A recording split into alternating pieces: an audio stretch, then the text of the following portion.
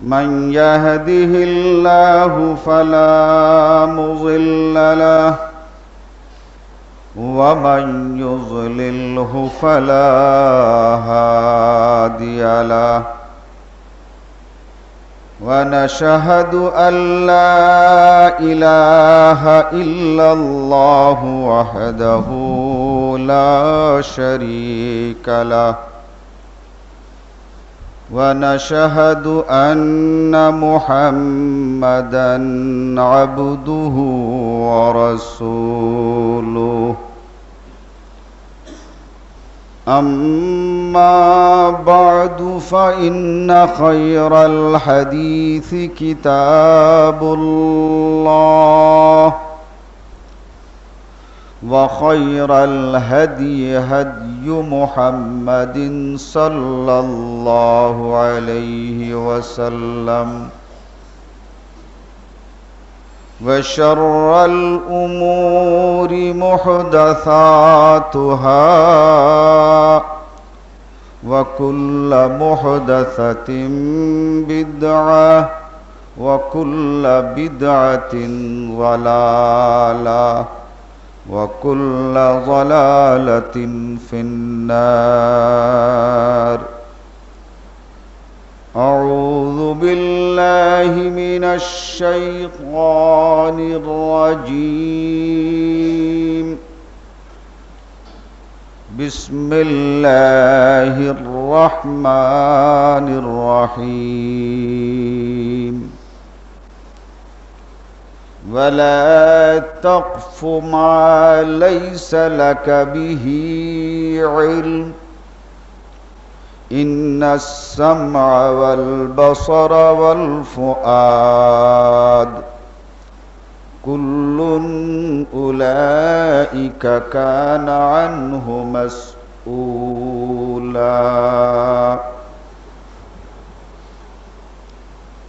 আল্লাহ রব্বুল আলমিনের লাখ লাখ শোকর। যা আজকার এই জুমাতে আমরা শরিক হতে পেরেছি। নবী মোহাম্মদুর রসুল্লাহ সাল্লাহু আলহি ওসাল্লামের উপরে লাখো সালাত সালাম, যার প্রদর্শিত পথ আর হেদায়ত পেয়ে আমরা ন্যায় এবং সত্যকে জানতে বুঝতে পেরেছি, অবলম্বন করার তৌফিক পেয়েছি। আজকের খুতবার বিষয় হল মসলা মসাইল এবং কোরআন হাদিস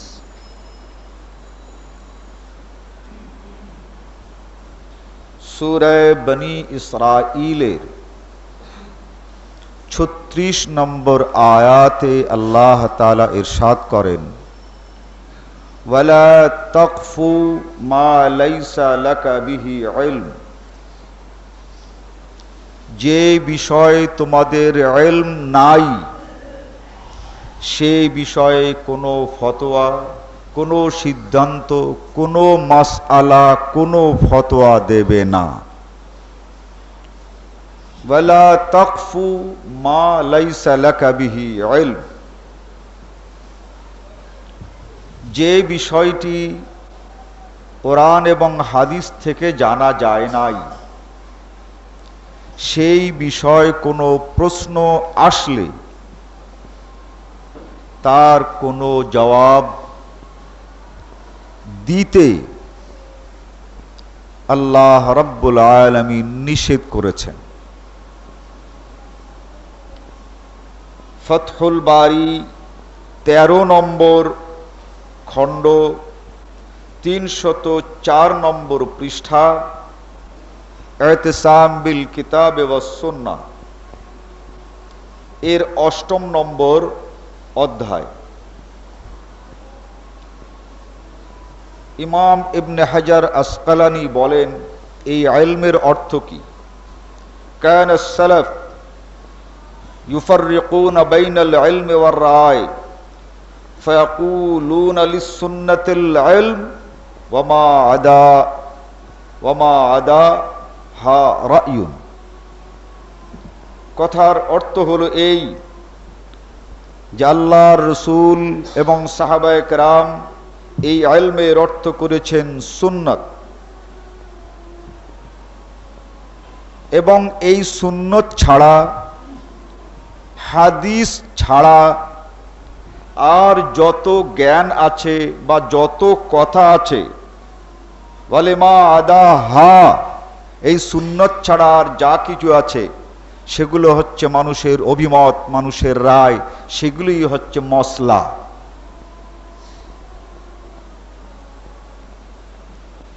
কেন সেলেফ ইউফর রায় এবং মশলা দুটো আলাদা কথা। ফাকুলুন আলিস সুন্নতে ইলমুন, নবী হতে শুরু করে সকল সাহাবাদের একই কথা, যে এলম হচ্ছে একমাত্র আল্লাহর নবীর সুন্না এই সুন্নত ছাড়া আর যত কথা আছে, এগুলো হচ্ছে মাসআলা, এগুলো হচ্ছে রায়।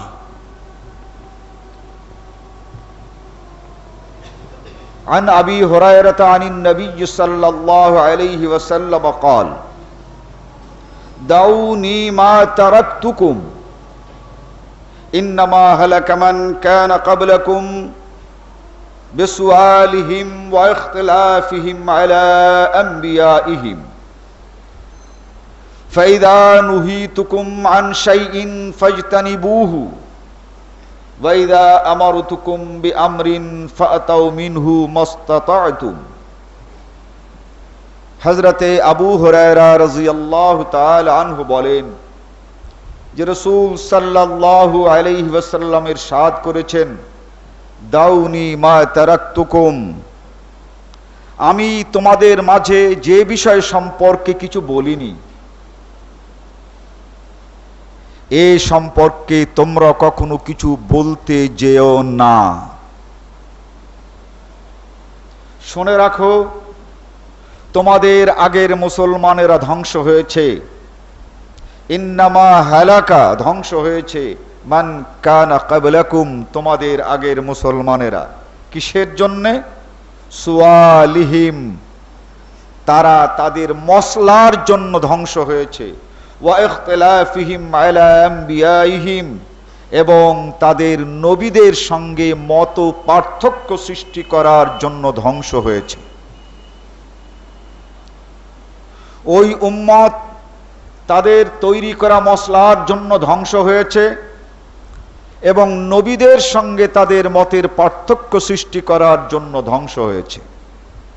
আল্লাহ নবী বলেন, ফাইদা নুহি তুকুম আনসাইন তাই তোমাদেরকে বলছি, আমি স্পষ্ট ভাষায় তোমাদেরকে যা নিষেধ করেছি ফাজতানি বহু তার থেকে তোমরা দূরে সরে থাকো। ওয়াইদা আমার তুকুম বে আমরিন আর তোমাদেরকে আমি যা করতে বলেছি তাও মিনহু মাস্তাতাতুম, তার মধ্যে যেগুলো তোমাদের জন্য করা সম্ভব, আমি তোমাদেরকে যা নির্দেশ দিয়েছি, তার মধ্যে যেগুলো তোমাদের মেনে চলা সম্ভব। তাও সেই সম্ভবগুলো তোমরা করে যাও। আর যেগুলো আপাতত তোমাদের জন্য সম্ভব নয়, সেইগুলো তোমরা করতে পারো, তার জন্য আল্লাহর কাছে তৌফিক চাও। দুটো, একটা হচ্ছে সম্ভবগুলো করে যাও, আর যেগুলো এখনও সম্ভব হচ্ছে না, তার জন্য আল্লাহর কাছে তৌফিক চাও। বোখারি ষষ্ঠ নম্বর খণ্ড, হাদিস নম্বর ছয় হাজার সাতশত আঠাত্তর আধুনিক প্রকাশনী, বোখারির ষষ্ঠ নম্বর খণ্ডের ছ হাজার সাতশো আটাত্তর নম্বর হাদিস। তাহলে আমরা স্পষ্ট বুঝতে পারছি, রসুল সাল্লাহ আলহি ওসাল্লামের এই হাদিস মোতাবেক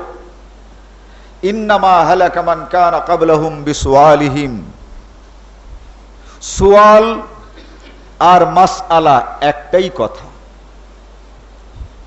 সুয়াল মানে মাস আলা আর মাস আলা মানে একটি শব্দের প্রতিশব্দ। এই সুয়াল, এই মাস আলা এটাই আগের লোকদেরকে ধ্বংস করেছে। অতএব তোমাদের মাঝের এই মাস আলা কিন্তু তোমাদেরকে ধ্বংস করবে।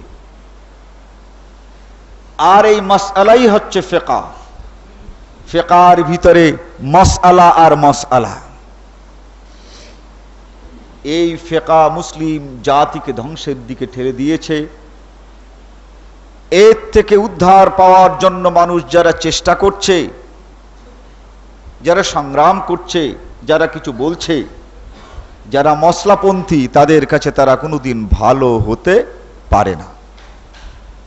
عن عبد الله ابن عمرو قال قال رسول الله صلى الله عليه وسلم ناس جهال يستفتون فيفتون برأيهم فيضلون ويضلون হজরতে আবদুল্লাহ ইবনে আমার বলেন যে নবী মোহাম্মদুর রসুল্লাহ সাল্লাহ আলাইহি ওয়াসাল্লামের সাদ করেছেন হে মুসলিম জাতি, তোমাদের মাঝে এমন একটি সময় আসবে।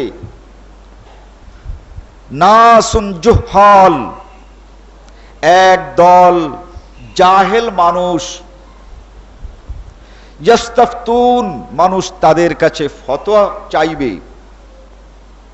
ফয়াফতুন বেরাইহিম তারা কোরআন এবং সুন্নত ছাড়া তাদের মন মতো মশলা দেবে।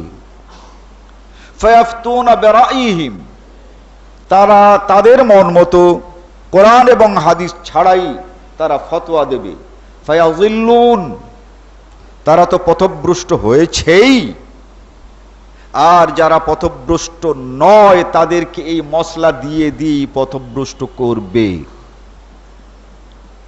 এ হাদিসটি বুখারি শরীফ ষষ্ঠ খণ্ড ছয় হাজার সাতশত সাতানব্বই নম্বর হাদিস, মেশকাত মাদ্রাসার পাঠ্য, প্রথম নম্বর খণ্ড, এক হাজার একশত পঁচানব্বই নম্বর হাদিস। মেশকাত মাদ্রাসার পাঠ্য, পয়লা খণ্ড, একশত পঁচানব্বই নম্বর হাদিস। রসুল সাল্লাহ আলহি ওয়াসাল্লাম বলে দিলেন একদল মানুষ জাহেল। আমরা বাংলায় জাহেল মনে করি, তাদেরকে যারা মূর্খ। কথাটা কিন্তু সত্য নয়। জাহেল মানি মূর্খ, উর্দুতে জাহেল মানি মূর্খ। ফার্সিতে জাহেল মানি মূর্খ। কিন্তু আরবিতে জাহেল মানে কিন্তু কেবলমাত্র মূর্খ নয়। একটাই শব্দ, একই বানানে। একই উচ্চারণে ফার্সিতেও ব্যবহার করা হয়, উর্দুতেও ব্যবহার করা হয়, আরবিতেও ব্যবহার করা হয়। কিন্তু প্রত্যেকটি ভাষায় অর্থ আলাদা আলাদা। জাহেলদের কাছে ফতোয়া জিজ্ঞাসা করা হয়েছে। তাহলে এই জাহেলরা ফার্সির জাহেল না, মূর্খ না? জাহেলদের কাছে যখন ফতোয়া জিজ্ঞাসা করা হবে, তো এই সেই জাহেল না, উর্দুতে যাকে জাহেল বলা হয়। জাহেলদের কাছে যখন ফতোয়াই জিজ্ঞাসা করা হবে, তাহলে এই বাংলা ভাষায় যাকে জাহেল মনে করা হচ্ছে, সে জাহেল, আর এই জাহেল এক নয়। জাহেল বলা হয় আরবিতে তাকে, যে ব্যক্তি সব জানে কিন্তু মানে না। আরবিতে তাকেই জাহেল বলা হয়। আরবি ভাষায় সবচেয়ে বড় জাহিল, তার নাম ছিল ওরওয়া ইবনে হেসাম নবী মোহাম্মদুর রসুল্লাহ সাল্লাহ আলাইহি ওসাল্লাম যখন এই দিনের দাওয়াত দিলেন, আরবদের সেই সবচেয়ে বড় জাহেল যে ব্যক্তি, সে আটটি ভাষায় কথা বলতে পারত এবং আটটি ভাষা বুঝত। তাহলে বুঝতে পারেন কত বড় জাহেল। সে আটটি ভাষা বুঝত এবং আটটি ভাষায় কথা বলতে পারত। এই জাহেলটা তার নাম অরোয়া এবনে হেসাম এই ব্যক্তি নবী মোহাম্মদুর রসুল্লাহ সাল্লাহ আলহি ওসাল্লামের সব সময় বুদ্ধচরণ করত। আখনাস নাম করে এক ব্যক্তি। খুব ভোর বেলায় মক্কার রাস্তায় বেরিয়েছেন। দেখছেন নবী মোহাম্মদুর রসুল সাল্লাহ আলহি ওসাল্লাম এই দিক থেকে আসছেন। আর ওই দিক থেকে দেখছেন এই অরোয়া এবনে হেসাম এই দিক থেকে যাচ্ছে। একদিকে আল্লাহ নবী, আর একদিকে এই অরোয়া অরোয়া এবনে হেসাম এই অরোয়া এবনে হেসাম দিন ভর আল্লাহ নবীকে গালাগালি করে কেবলমাত্র এই দিনের দাওয়াত দেওয়ার জন্য। আখনাস এই আবু জেহেলের পেছনে আর এই হিসামের নাম হচ্ছে মুসলমানের কাছে আবু জেহেল। আর কাফেরদের কাছে এর পরিচয় হচ্ছে আবুল হাকাম বিদ্যাসাগর। মুসলমানদের কাছে এই অরুয়া ইবনে হেসামের পরিচয় হচ্ছে আবু জেহেল। আর মক্কাবাসীদের কাছে এই অরোয়া ইবনে হেসামের পরিচয় হচ্ছে আবুল হাকাম সর্বাধিক পণ্ডিত বিদ্যান পেছনে, আর অরোয়া ইবনে হেসাম আল্লাহ নবীর যখন কাছাকাছি পৌঁছে গেছে, তখন দৌড়িয়ে আল্লাহ নবী মোহাম্মদুর রসুল্লাহ সাল্লাহ আলাইহি ওসাল্লামের হাত ধরে মোসাফা করে চুমো খাচ্ছে। যা হবার তো হয়েছে। এই আখনাস ইবনে সুরায়েক এই আখনাস জিজ্ঞাসা করছে, হে আবুল হাকাম, হে মহাবিদ্যান বিদ্যাসাগর, বাইরে বাইরে খুব ঝগড়া, কিন্তু ভিতর ভিতরে তো দারুণ পিরিত তুমি হয়তো মনে করেছ, তোমাকে কেউ দেখে নাই, আমি কিন্তু তোমার পেছনে ছিলাম। তুমি কিন্তু এই মুসলমানদের নবীর সঙ্গে আগ বেড়ে দেখা করেছ, আর হাতি চুমো খেয়েছো। ব্যাপারটা কি? তখন এই হেসাম বলছে, ওই হক, তুই কার সম্পর্কে ধৃষ্টতাপূর্ণ উক্তি করলি? তুই জানিস কে? বলো তুমি কে তিনি? বলে, আলামু লান্নাহু নবী। জেনে রাখ আমি নির্ঘাত এবং অভ্রান্ত ভাবে জানতে পেরেছি এই লোকটি আল্লাহর নবী, এতে কোনো সন্দেহ নাই। লোকটিকে আসল নাম ওরওয়া ইবনে হেসাম মক্কাবাসীদের কাছে, সে আবুল হাকাম নামে পরিচিত, আর মুসলমানদের কাছে সে আবু জেহেল নামে পরিচিত। এই আবু জেহেল মানেই হচ্ছে আসল জাহেল। তার মানে যে নবী মোহাম্মদুর রসুল্লাহ সাল্লাহ আলহি ওসাল্লামকে নবী জানার পরেও এই নবুয়তের বুদ্ধচারণ করেছে, রসুলের বুদ্ধচারণ করেছে, আল্লাহর পক্ষ থেকে এই অরওয়া ইবনে হেসামের নাম দেওয়া হয়েছে আবু জেহেল। শুধু জাহেল না, একদম মহামূর্খের বাপ। আরবি ভাষায় জাহেল তাকে বলা হয় যে জানে এবং বুদ্ধচারণ করে। নবী মোহাম্মদুর নবী হিসেবে জানতো আর বুদ্ধচারণ করত, তাই তাকে বলা হয়েছে আল্লাহ করেন এমন সকল মানুষ তোমাদের মাঝে আসবে। ওই সকল মানুষ চলে যাওয়ার পর যারা কোরআন এবং হাদিস মানে এরা সমাজের মাঝে বড় বড় আলেম বলে পরিচিত হবে। এই আবু জহেলের মতো আবুল হাকাম থাকবে। এই হেসাম যেমন মক্কার মাটিতে বিদ্যাসাগর বলে পরিচিত ছিল, এই বাংলাদেশে বহু মানুষ তোমাদের কাছে শাইখুল হাদিস, কামেল পীর ইত্যাদি বড় বড় নামে তারা অভিহিত হবে। নাসুন জোহাল। ইস্তাফতুন তাদের কাছে ফতোয়া জিজ্ঞাসা করা হবে। ফয়াফতুন এরাও ফতোয়া দেবে, কিন্তু সেই ফতোয়া কোরআন আর হাদিসে থাকবে না। ওরা নিজেরা পথভ্রষ্ট আর মানুষকে পথভ্রষ্ট করবে। বোখারি ষষ্ঠ খণ্ড ছয় হাজার সাতশো সাতানব্বই এবং মেশকাত প্রথম নম্বর খণ্ড একশত পঁচানব্বই। স্পষ্টত বুঝতে পারছি আমরা, মানুষের এই রায়, মানুষের এই মাসআলা আল্লাহ নবী ভবিষ্যৎবাণী করেছেন ইউজিল্লুন মানুষকে পথভ্রষ্ট করবে। আর পথভ্রষ্ট করবে কারা? জাহেলরা। অর্থাৎ সমাজের মাঝে যারা বিদ্যান বলে পরিচিত এবং তারা কোরআন, হাদিস মানবে না, তারাই হবে এই ফতোয়া দাতা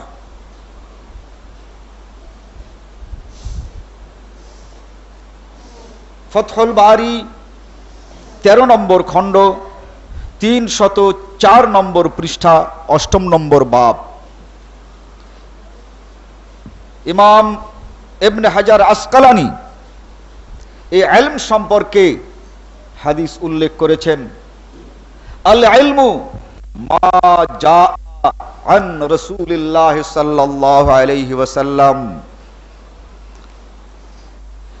হচ্ছে এক তাই যা নবী মুহাম্মদুর রসুল্লাহ সাল্লাহ ওয়াসাল্লামের হাদিস হিসাবে সাহাবারা বর্ণনা করেছেন। সাহাবাদের নিজেদের কথাও আইলেম নয়। মা যা আন আসহাবে রসুলিল্লাহ সাল্লাহ আলাইহি ওয়াসাল্লাম। সাহাবারা আল্লাহর নবীর যে সকল হাদিস মানুষের কাছে বর্ণনা করেছেন, সেটাই একমাত্র এলম ওয়ামা লাম ইয়াজিউ আনহুম, ফালাইসা বিইলমিন। সেই আল্লাহর নবীর কথা ছাড়া এই পৃথিবীর বুকে আর যত মানুষের যত কথা আছে কোনোটাই এলম নয়। সে সাহাবি হতে পারেন, তার কথা এলেম নয়। তাবেই হতে পারেন, তার কথা এলেম নয়। তবে তাবেই হতে পারেন, তার কথা এলেম নয়। ইমামরা হতে পারেন, তার কথা এলেম নয়। এলেম একমাত্র নবী মোহাম্মদুর রসুল্লাহ সাল্লাহ আলহি ওয়াসাল্লামের কথা। অতএব আল্লাহর কোরআন আর রসুলের হাদিস, এটাই হচ্ছে এলম। এছাড়া এই পৃথিবীর বুকে আর যত মশলার কেতাব আছে, এই মশলার কেতাবের কোনোটাই এলেম নয়। বরং এগুলো হচ্ছে এই মশলার কেতাবগুলো যারা রেখেছে, তারা লিখেছে তারা ছিল পথভ্রষ্ট আর এই মশলার কিতাবকে যারা অনুসরণ করেছে ফায়াজিল্লুন তারাও পথভ্রষ্ট হয়েছে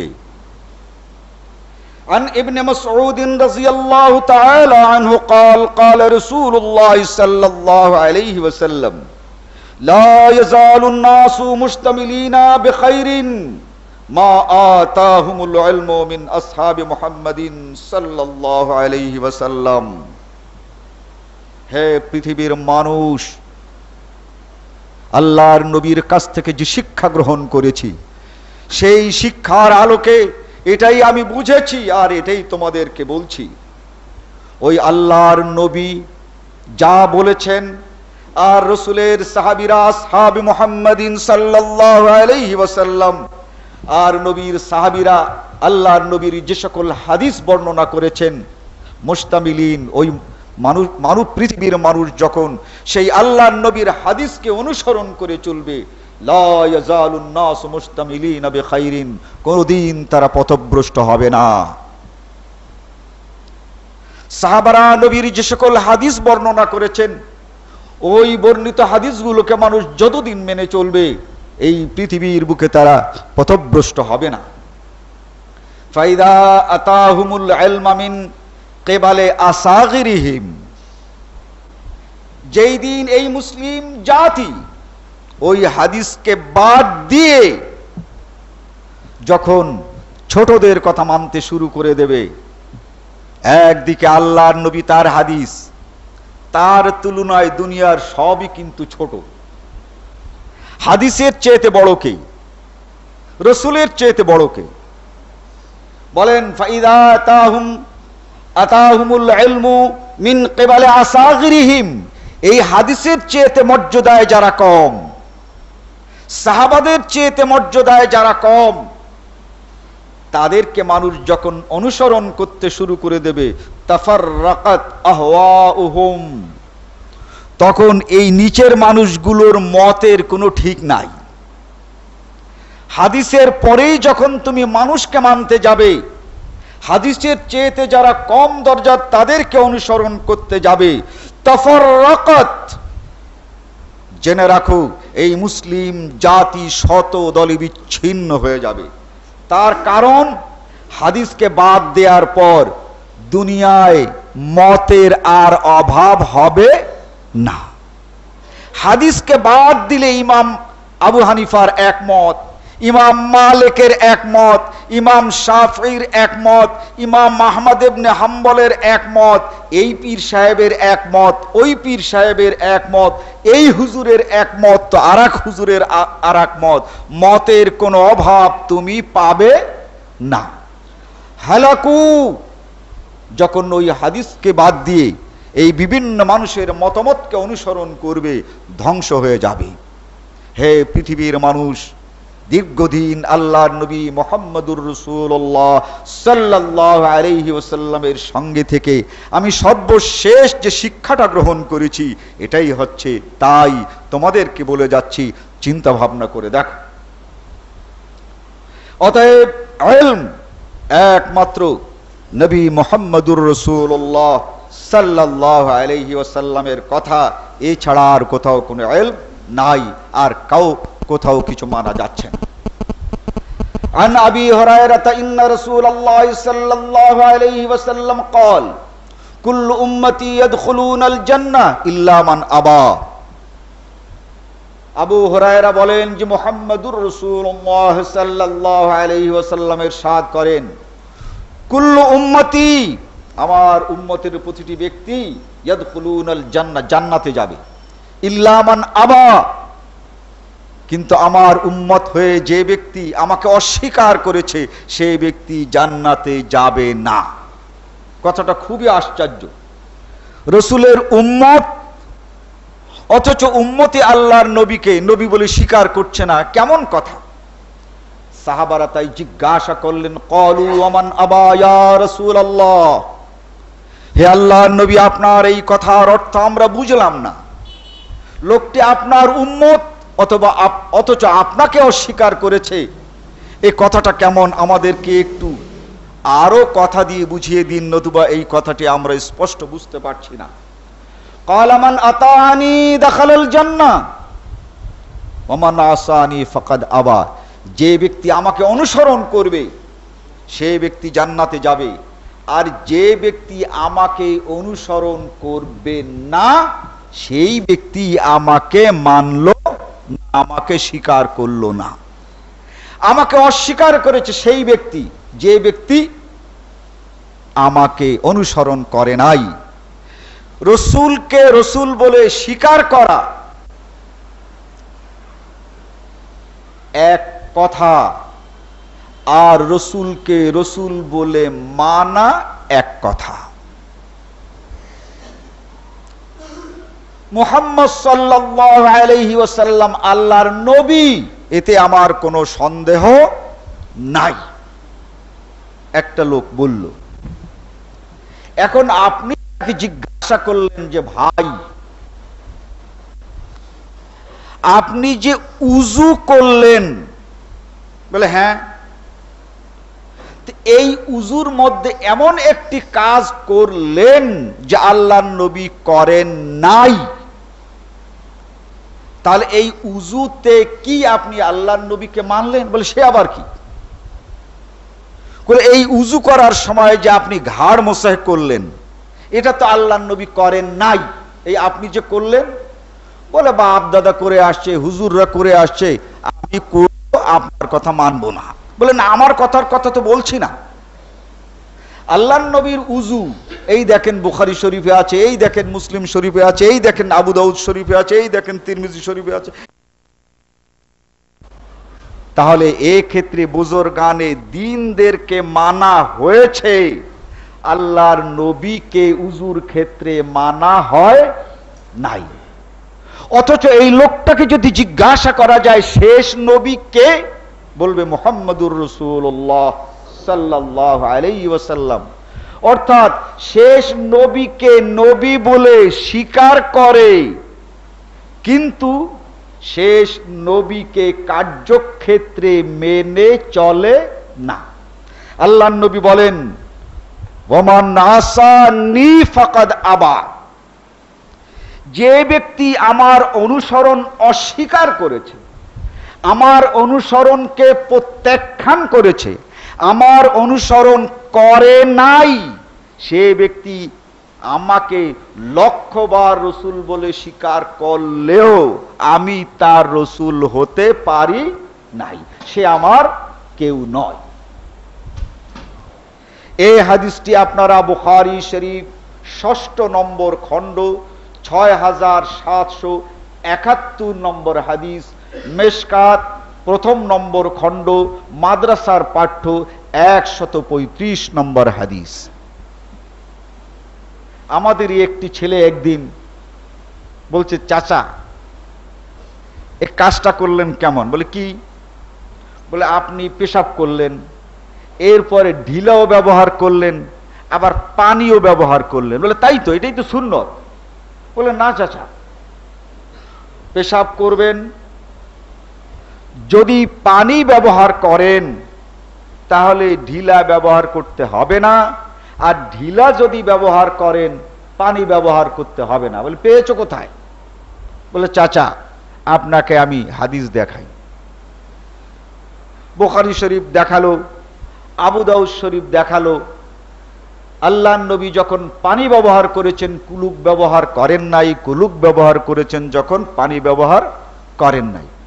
বলে, দেখো, হাদিসে থাক, কিন্তু আমার পীর সাহেব হুজুর, আমার বোজোর গানে দিনরা এই কুলুকও ব্যবহার করেন আর পানিও ব্যবহার করেন, এটা আমি ছাড়তে পারব না। এইভাবে ছোট খাটো কথা থেকে শুরু করে, এই লোকটি ওই শেষ নবীকে নবী বলে ঘোষণা দেয়, নবী বলে স্বীকার করে। কিন্তু কর্মক্ষেত্রে তারা নবী মোহাম্মদুর রসুল্লাহ সাল্লাহ আলহি ওসাল্লামকে অনুসরণ করে না। এদেরকেই বলা হয় আবা, যে আল্লাহর নবীকে মুখে স্বীকার করেছে, কিন্তু কাজে মানে নাই। আল্লাহ নবী বলেন, যারা আমার কথা মুখে স্বীকার করে, কিন্তু কার্যত মানে না, তারা জান্নাতে যাবে না। তারা আমাকে মুখে স্বীকার করলেও আসলে তারা আমাকেই অস্বীকার করেছে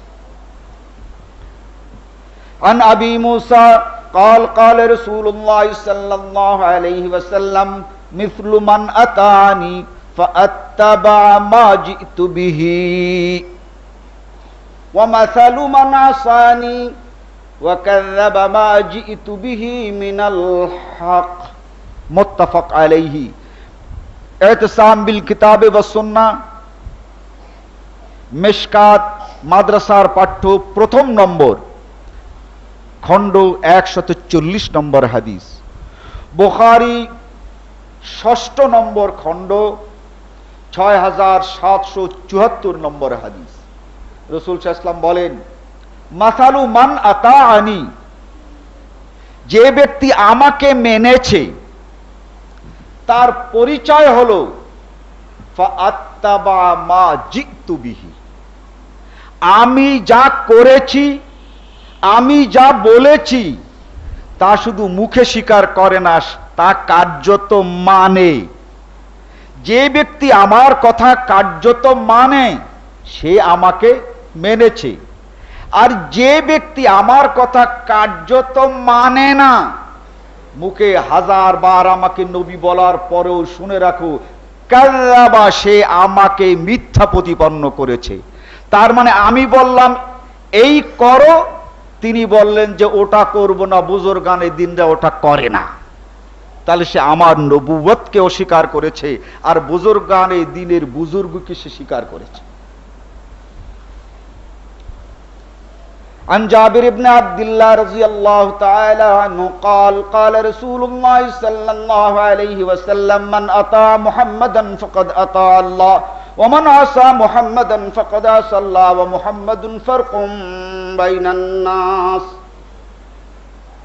মিশকাত মাদ্রাসার পাঠ্য প্রথম নম্বর একশত ছত্রিশ নম্বর হাদিস বুখারি ষষ্ঠ নম্বর খণ্ড ছয় হাজার সাতশো বাহাত্তর নম্বর হাদিস জাবির ইবনে আব্দুল্লাহ রাদিয়াল্লাহু তাআলা আনহু বলেন যে রাসূল সাল্লাল্লাহু আলাইহি ওয়াসাল্লাম বলেছেন, মান আতা মুহাম্মাদান, যে ব্যক্তি মোহাম্মদ ওয়াসাল্লামকে কার্যত মেনেছে, আতা ইউতি, কার্যত মানা, মুখে শুধু মানা নয়। আল্লাহ নবী উজুর সময় করেছেন, তাই করে, তার চেয়েতে বেশিও করে না, কমও করে না। নামাজের মধ্যে আল্লাহ নবী যা করেছেন, তার চেয়েতে বেশিও করে না, কমও করে না। রোজার মধ্যে যা করেছেন আল্লাহ নবী তার চেয়েতে বেশিও করে না, কমও করে না। এইভাবে শরীয়তের মধ্যে আল্লাহ নবী যা করেছেন তাই করে তার চেয়েতে বেশিও করে না, কমও করে না। মান আতা মুহাম্মাদান ফাকাদ আতা আল্লাহ। সে আমাকে মানে নাই। আমি মোহাম্মদ, তার শিক্ষক মাত্র, রসুল মাত্র। সে মেনে চলেছে স্বয়ং আল্লাহ রব্বুল আলমিনকে। যে মোহাম্মদ সাল্লাহ ইসলামকে মেনেছে সে মেনেছে কাকে? আল্লাহকে। যে ব্যক্তি মোহাম্মদ সাল্লাহ কার্যত মানে নাই, আমলে মানে নাই, ফকদ আসল্লাহ, সে আল্লাহকে মানে নাই।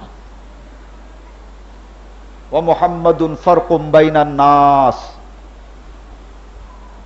মোহাম্মদ সাল্লাহ আলহি এমন এক ব্যক্তি, কার কোনটা হয়েছে আর কার কোনটা হয় নাই, কোনটা ঠিক আর কোনটা বেঠিক, এর মাপ কাঠি হলেন মোহাম্মদুর রসুল্লাহ সাল্লাহ আলহি ওসাল্লাম উজু হয় নাই উজু হয়েছে। একজনে বললেন উজু হয়ে গেছে।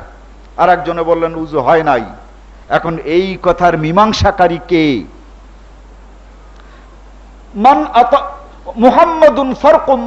নাস। ওই দুই উজুর মধ্যে যার উজু নবী মোহাম্মদুর রসুল্লাহ সাল্লাহ আলহি উজুর সঙ্গে মিল হয়েছে, তার উজু হয়েছে। যদি ওই উজুর সঙ্গে রসুলের উজুর সাথে গরমিল হয়েছে। অর্থাৎ রসুলের উজুর চেয়েতে এই উজুর মধ্যে কিছু বেশি হয়েছে, অথবা রসুলের উজুর সঙ্গে এই উজুর মধ্যে কিছুটা কম হয়েছে, সেই উজু হয় নাই। মোহাম্মদুন ফরকম্বাইনার নাস। এভাবে বিরোধের মীমাংসাকারী হলেন মোহাম্মদুর রসুল্লাহ সাল্লাহ আলহি এই হাদিসটি বুখারি ষষ্ঠ খণ্ড ছয় হাজার সাতশো বাহাত্তর এবং মেশকাত প্রথম খণ্ড একশত ছত্রিশ عن انس قال قال رسول الله صلى الله عليه وسلم من رغب عن سنتي فليس مني متفق عليه রসুল সাল্লাহ আলহি ওসাল্লাম বলেন যে পদ্ধতিটি আমি দিয়েছি নামাজ, রোজা, হজ জাকাত যারই পদ্ধতি হোক, এই পদ্ধতি যে ব্যক্তি মানবে না, সে অনেক কিছু হতে পারে, কিন্তু সে আমার উম্মত না। মান রাগিবান সুন্নতি, আমার দেওয়া নীতি আর আদর্শ, তার মধ্যে কিছু বাড়ায় আর কিছু কম করে, তার মানে আমারটাই সে সন্তুষ্ট না। ফালাইসা মিন্নি, সে আমার উম্মত না। এতেসাম বিল কিতাব এবং সুন্না, মিশকাত প্রথম নম্বর খণ্ড এতেসাম বিল কিতাবে ও সুন্নতে। আজকে মশলা সৃষ্টি হয়েছে কোথার থেকে? এই ধ্বংসকারী মশলা সৃষ্টি হয়েছে ইজমার কেয়াস থেকে। বুখারি এতসাম বিল কিতাবে ও সুন্না। মা কেন নবী সাল্লাহ আলাইহি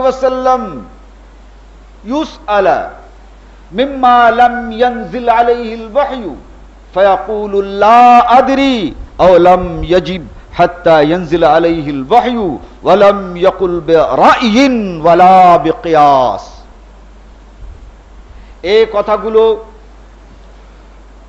বাংলা বুখারি ষষ্ঠ নম্বর খণ্ড চারশত উনত্রিশ পৃষ্ঠায় পাবেন।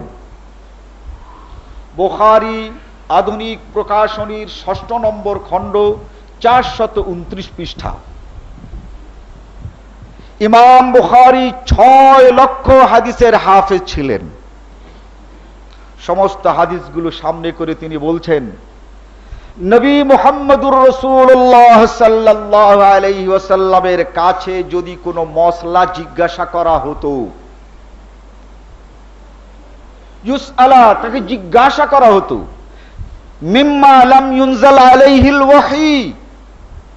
আর ওই প্রশ্নের জবাবে কোনো ওহি নাজেল হয় নাই।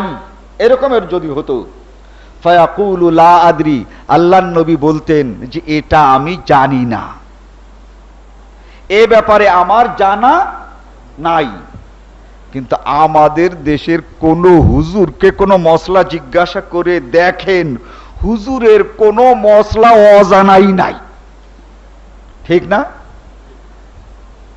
হুজুরের কাছে জিজ্ঞাসা করলে দেখা যায় হুজুরের কোনো মশলা অজানা নাই, একেবারে সব জানে। আর রসুলের চরিত্র ছিল এই যখন কোনো ওহি নাজেল না হয়েছে, বলতেন, লাদরি আমার জানা নাই। আওলাম ইয়জিব, তিনি কোনো উত্তরই দিতেন না। হাত্তা ইয়ানজিল আলাইহিল ওয়াহি ওহি নাজেল হলে উত্তর দিতেন, আর ওহি নাজেল না হলে কোনো উত্তরই দিতেন না। যেহেতু আল্লাহ বলেছিলেন, ওয়ালা তাকফু মা লাইসা লাকা বিহি ইলম হে নবী, যে বিষয় তোমার কোনো এলেম নাই, সে বিষয় কোনো ফতোয়া তুমি দেবে না। সুরায় বনি ইসরাইল ছত্রিশ নম্বর আয়াত, তাই এই আয়াত অনুসরণ করে আল্লাহ নবী কখনোই কোনো উত্তর দিতেন না। এক লোক এসে আল্লাহ নবীকে জিজ্ঞাসা করছে, বোখারি ষষ্ঠ নম্বর খণ্ড এতেসাম্বিল কিতাবে বা সুন্নায় বাংলায় পাবেন। জিজ্ঞাসা করছে, আপনি তো নবী, লোকে বলে, তো আমরা এখনও বলি না, তবে লোকে যখন বলে, যাক, আপনি কি বলতে পারেন, রুহ কাকে বলে? আল্লাহ নবী চুপ করে থাকলেন, কোনো জবাব দিলেন না। কিন্তু আমাদের দেশি কোনো হুজুরের কাছে জিজ্ঞাসা করলে এই উত্তর না দিয়ে কেউ চুপ করে থাকতো না। আল্লাহ নবী কোনো উত্তরে দিলেন না। চুপ করে থাকলেন। আল্লাহ রব্বুল আলমিন আয়াত নাজিল করে বলছেন ইয়েস আলুনাকা আনির রূহ। নবী, তোমার কাছে তো কোনো উত্তর নাই। উত্তর আমার কাছে আছে, শোনো। ওরা জিজ্ঞাসা করছে, রুহ কাকে বলে? বলে দাও, কলুর আমরে রাব্বি। রুহ, এটা আল্লাহর ব্যাপার। এ ব্যাপারে এর চেয়েতে আমি আর কিছু বলতে পারব না। আমার উত্তর এটাই যে রুহটা আল্লাহর ব্যাপার। এ ব্যাপারে আমার আর কিছু জানা নাই। আপনি এই দেশের হুজুরের কাছে জিজ্ঞাসা করেন, হুজুর, একটা লোক মরার পর রুহুটা যায় কোথায়? ইল্লি ইল্লিনে? বলে ইল্লিনে কারা, কোন রুহু যায়? বলে, যেগুলো ভালো, সেইগুলো ইল্লিনে যায়। আর যেগুলো খারাপ, ওগুলো যায় কোথায়? ওগুলো সিজ্জিনে যায়। বলে, হুজুর, পেলেন কোথা এই তো আমাদের কথা বিশ্বাস হয় না। এই এখন ওনার কথা বিশ্বাস হয় না, সেই কেসা শুরু হয়েছে আল্লাহ নবীও বলতে পারতেন এই প্রশ্ন মদিনায় হয়েছিল। আর ইল্লিন আর সিজ্জিনের সুরাটা মক্কায় নাজেল হয়েছিল। ইল্লিন আর সিজ্জিনের এই আয়াত নাজেল হয়েছিল কোথায়? মক্কায়। আর ইহুদিরা রসুলের কাছে রুহের কথা জানতে চেয়েছিল মদিনায়। তাহলে বোঝা যায় ইল্লিন আর সিজ্জিনের আয়াতটা আল্লাহ নবীর আগেই মুখস্থ ছিল। না, মুখস্থ ছিল না, ছিল। তো যখন ওই ইহুদি জিজ্ঞাসা করল, হুজুর, রুহ কি? আল্লাহ নবী বলতে পারতেন, রুহ মানে ওই একটা সিজ্জিনে থাকে, একটা ইল্লিনে থাকে। আল্লাহ নবী সে উত্তর দেন নাই, কিন্তু আমাদের হুজুরদের উত্তরেরও অভাব নাই। লম ইয়াকুল বিরাইন ওয়ালা বিকিয়াস। আল্লাহর নবী মুহাম্মদুর আলাইহি ওয়াসাল্লাম জিন্দিগিতে একটি কথাও তিনি নিজের মন মতো বলেন নাই। ওয়ালা বিকিয়াসিন, আর কেয়াস করে আল্লাহর নবী একটা কথাও বলেন নাই। আপনারা বাংলায় পাবেন বুখারি ষষ্ঠ নম্বর খণ্ড, পৃষ্ঠা নম্বর চারশত উনত্রিশ। বাংলায় পড়ে নিতে পারেন। এর পরে আবার বলা হচ্ছে, মা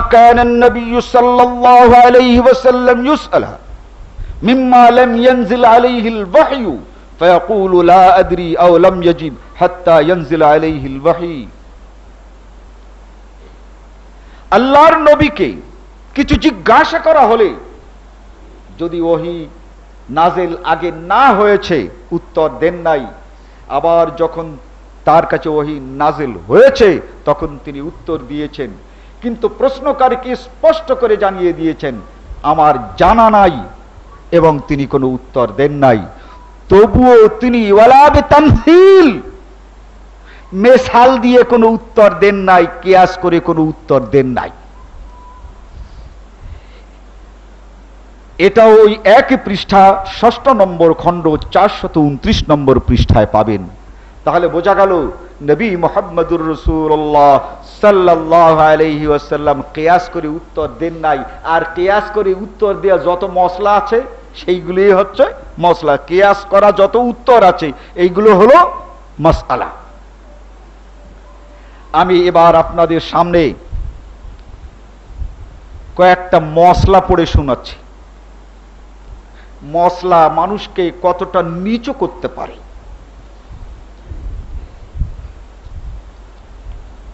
বেহেস্তি জিওর চতুর্থ খণ্ড একষট্টি নম্বর পৃষ্ঠা থেকে শুরু করছি।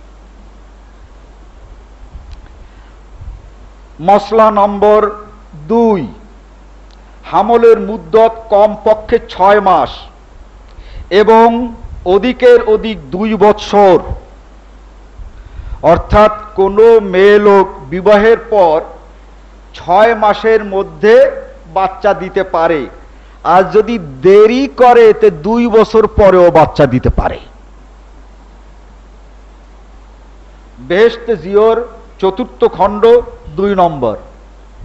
তার মানে হলো, কোন মেয়ের বিয়ে হলো, ছয় মাস পরে যদি সে বাচ্চা দেয়, তাহলে ওই বাচ্চাটা অবৈধ নয়।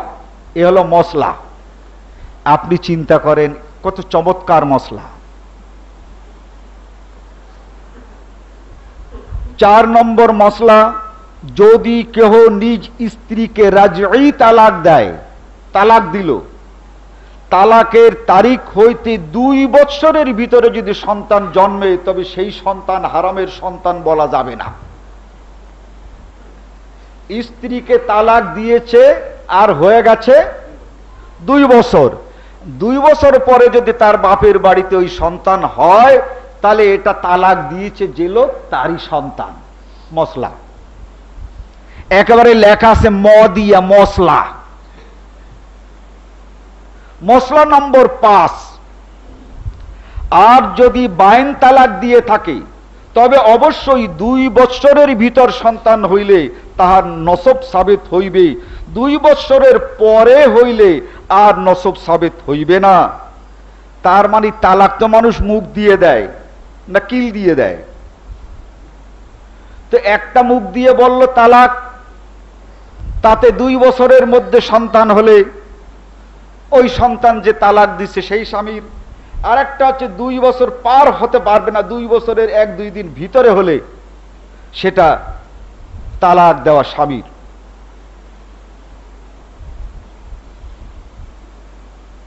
বলা হচ্ছে সাত নম্বর মশলা। যে স্ত্রী লোকের স্বামী মারা গিয়েছে, ওগুলো কিন্তু তাজা ছিল। স্বপ্নে টপ্নে হয়তো বা দেখে ফেলতে পারে স্বামীকে, কিন্তু এ জায়গা শেখায়দাও নাই। যে স্ত্রী লোকের স্বামী মারা গিয়েছে, তাহার যদি দুই বৎসরের মধ্যে সন্তান হয়, তবে সেই সন্তানকে হালালের সন্তান বলিতে হইবে। মশলা মানুষের তৈরি করা মশলা কত ভয়ঙ্কর হতে পারে। বিবাহের ঠিক, বিবাহের পর, ঠিক ছয় মাসের পর দিন অথবা তার দু এক দিন বেশি হইলে যদি সন্তান হয়, তবে সেই সন্তানকে হালালের সন্তান বলিতে হইবে। মশলা নম্বর এটা আট। এরপরে একটা মশলা আরও সুন্দর। নয় নম্বর মশলা শুধু ভালো করে শুনুন, মৌলানা শামসুল হক সাহেবের তর্জমা, আমার তর্জমা না। মশলা নম্বর নয়। শুধু কলেমা। বোঝেন তো, শুধু কলেমা মানে কি? দেখা সাক্ষাৎ হয়েছে। নাকি? শুধু কলেমা। আগ হইয়ে যাওয়ার পর ছয় মাস পরে বউ উঠাইয়ে আনার পূর্বে যদি সন্তান হয় তবু সে সন্তানকে হারামের সন্তান বলা যাইবে না। শুধু কলেমা হইয়াছে, আহা, আর কিছু হয় নাই। এতেও যদি সন্তান হয়, তাহলে সেটা হারামের সন্তান বলা যাইবে না। দশ নম্বর মশলা স্বামী অনেক দিন যাবৎ বিদেশে আছে। এমনকি কয়েক বছর চলিয়া গিয়াছে, বাড়ি আসে নাই। স্বামী অনেক দিন যাবৎ বিদেশে আছে, এমনকি কয়েক বছর চলিয়ে গিয়েছে, বাড়ি আসে নাই। এদিকে সন্তান পয়দা হইয়াছে। এই সন্তানকেও হারামজাদা বলা যাইবে না।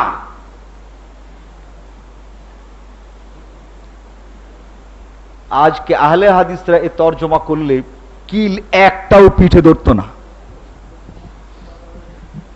মৌলানা শামসুল হক সাহেব বেশতে জিয়রের তর্জমা করেছেন চতুর্থ খণ্ড একষট্টি